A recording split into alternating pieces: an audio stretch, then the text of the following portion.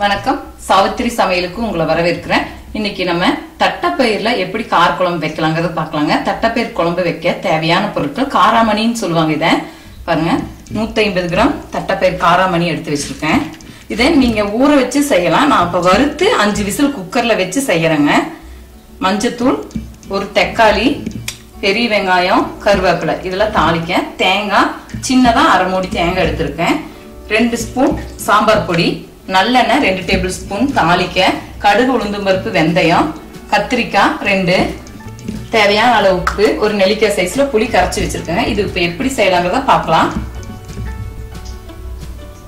இப்போ நம்ம கடாய அடுப்புல வச்சு இந்த காராமணிய மனம் வர அளவுக்கு கருகு விடாம பார்த்து வறுத்துக்கலாங்க.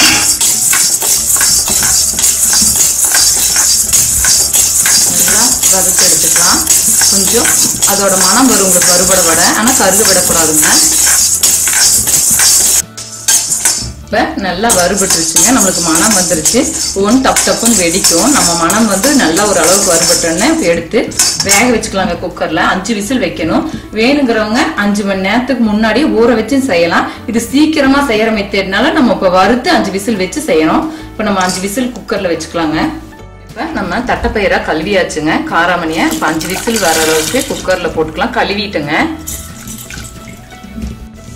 இப்போ நம்ம தக்காளி கட் பண்ணியாச்சுங்க. பொடி பொடியாக பெரிய வெங்காயத்தை கட் பண்ணியாச்சு. ரெண்டு கத்திரிக்காய் கொஞ்சம் பெருசாக இருக்கிறதுனால நான் சன்னமாக கட் பண்ணியிருக்கேங்க.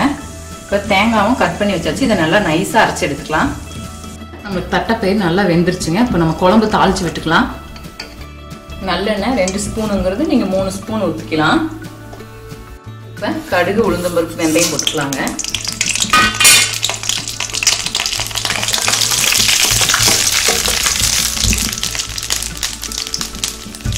இப்போ நம்ம கருவேப்பிலை போட்டுக்கலாங்க. இது கூட பொடியாக கட் பண்ணி வச்சுருக்கிற பெரிய வெங்காயம்.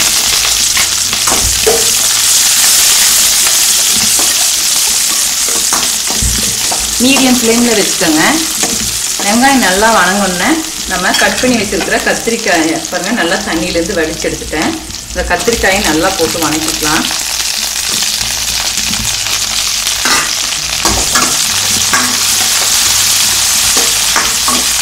கத்திரிக்காய் நல்லா வணங்கல கட் பண்ணி வச்சிருக்கிற தக்காளி கொஞ்சம் போட்டுக்கணும் நல்லா வணங்கட்டும்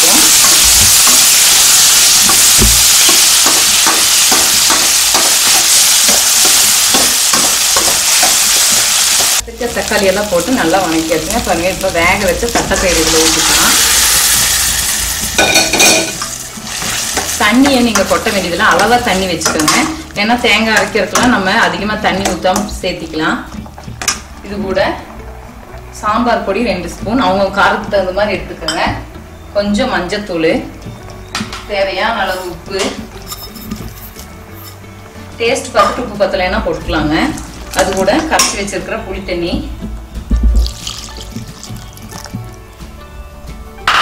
நல்லா கொதிக்கட்டுங்க.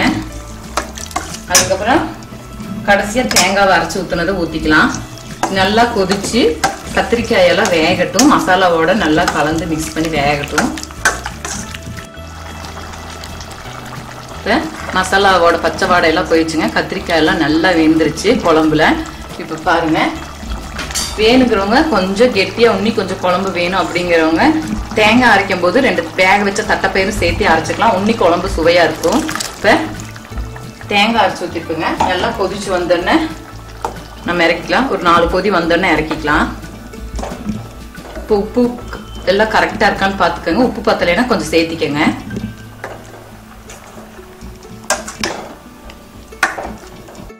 இப்போ ஈஸியான முறையில் சுவையான வத்த குழம்பு முறையில நம்ம தட்டைப்பயிர் குழம்பு சீக்கிரமா செய்தாச்சுங்க. உங்களுக்கு இது ஈஸியா இருக்கும் நீங்க.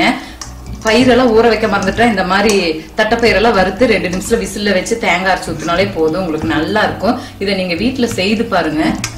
ரொம்ப நல்லா இருக்கும் இந்த குழம்பு. இந்த வீடியோ பிடிச்சிருந்தா லைக் பண்ணுங்க ஷேர் பண்ணுங்க சப்ஸ்கிரைப் பண்ணுங்க கமெண்ட்ஸ் பண்ணுங்க. மேலும் பல சமையல் குறிப்புகளுடன் சந்திக்கிறேன்.